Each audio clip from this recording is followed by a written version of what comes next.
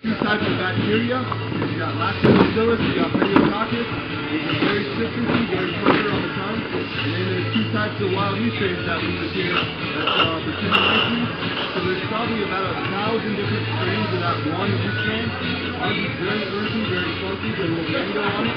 If you guys want to try what that nutrient strain tastes like, go up and try Saboteur. That's a great example of our recipe. And then we also have our very own in-house one called Cedar.